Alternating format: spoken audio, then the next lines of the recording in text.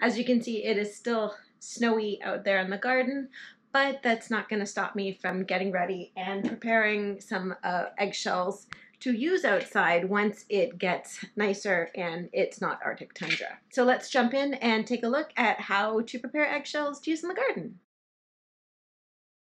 Hey darling and welcome back to my channel. I'm Carrie Martin and I'm just a city girl who wishes she was a country girl who is currently living in the burbs. So on this channel we talk about everything micro homesteading from gardening indoors, outdoors, um, and everything in between. So if that's what you're into then go ahead and hit subscribe and the notification bell so you will know when I post videos in the future. And if you like this video then give it a thumbs up because apparently YouTube likes that. I wanted to walk you guys through how I prepare my eggshells. Um, it's not to say it's the only way or the right way, it's just my way. Okay, so let's talk about three myths that tend to be spread all over the place about eggshells. Number one, they are good for keeping slugs away from your plant. Number two, that they can be used as a replacement for diatomaceous earth.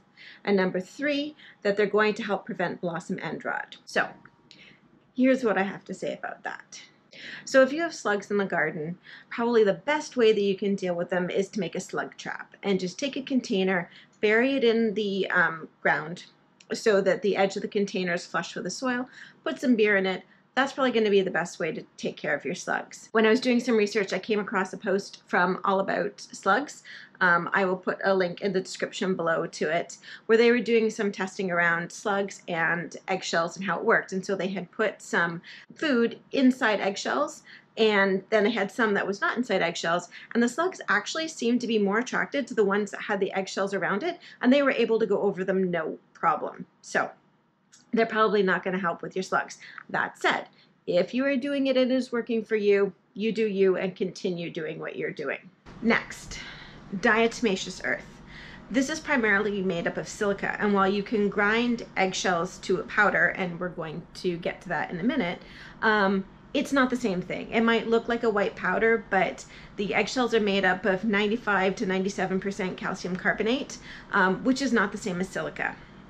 So it's just not going to be the same replacement. Um, if you have bugs that are you can get rid of with diatomaceous earth, just go out and get the get that um, instead of trying to use ground up eggshells. And the last one about blossom end rot. So blossom end rot does have to do with calcium. Um, but it is typically not caused by a deficiency of calcium in the soil. Uh, typically what it is, it's usually caused by watering. What it does is it affects the plant's ability to absorb calcium from the soil and to efficiently move that calcium through itself and get it to the fruit. And when that happens, that's when you typically get the blossom end rot. And once that occurs, you might as well just pick those fruit off and you can compost them. It's not a disease, so it's not going to hurt anything, uh, but they're not going to develop properly once that's occurred. So while I was doing all my research on eggshells, another thing I came across was about how people like to say you can put it in your compost. And you can, but you're not just going to go crumple them up and throw them in. Well, I mean, you could, but they're going to stay like that. Eggshells are really hard. They don't tend to um, biodegrade very easily. Uh, so you can grind them up, and that's actually going to help them decompose faster. It's still going to take a long time, um, but there's still a value to add to the compost, but they need to be in that powder form. One of the things that I'm planning to do in the spring is to get um, a vermicomposting setup going, and then eggshells can be really useful when, again, ground into a small powder, um, and the worms can use that. Um, they like the grit. So now let's get this show on the road and get these eggshells into the oven. So I pretty much just rinse them and then store them in the jar until I have enough. And then once I have enough, then I'm just going to uh, cover a cookie sheet in aluminum foil and I just lay them all out in a single layer. So I'm just gonna go ahead and do that now. So here I have all the eggshells just laid out in a single layer on a cookie sheet with some aluminum foil and then they are just ready to go into the oven.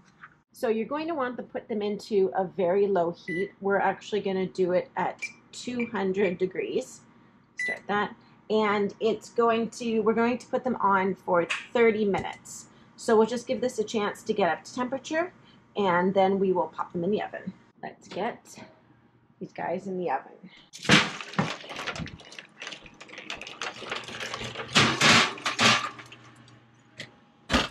And we will put them on for 30 minutes. All right, now we wait. So I use my NutriBullet. I have a separate one. It's actually got the milling blade on it. Uh, give me a second and I'll get it open. Okay, so I use this one and just this one for the eggshells. So it's got the, I think it's the grain milling blade on here. And then you can see I've done many in there. Then once they're off and they've cooled a bit, I just start filling up the container. And then I'll just crush them down. It's amazing how many you can fit in here. And it's, you think you got a lot of eggshells?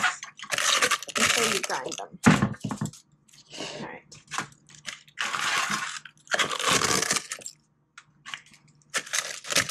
I usually try and push on the back, so yourself. All right, so get those in and we'll put the lid on. Okay, so I got the lid on now, and then we'll just blend it in the NutriBullet for a few seconds. It doesn't take long.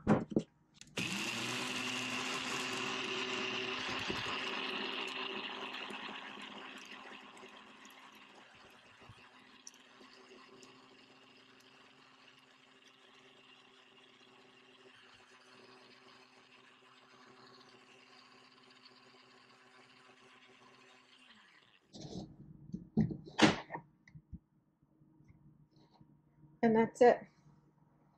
Not much from that whole thing. And then all I do, so it's just a really fine powder. It's hard to see. And then I keep it all in this little jar. So I'll add that in.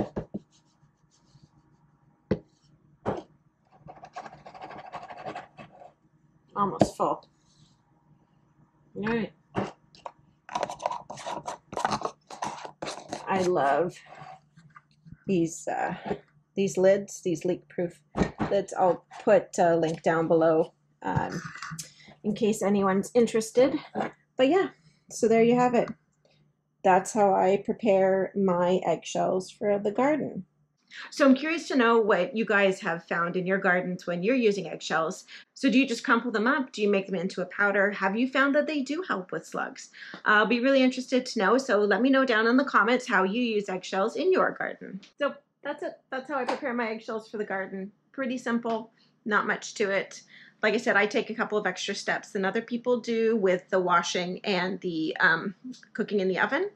You don't have to do that if you don't want to it's just something that I do. It doesn't take very long, and I figure just in case there is a risk of any salmonella, why not just try and eliminate it? So hopefully you guys found that helpful, and if you liked it, then go ahead and give a thumbs up down below on the video. And don't forget, gardening is an adventure. It's a matter of figuring out what works for you and your garden.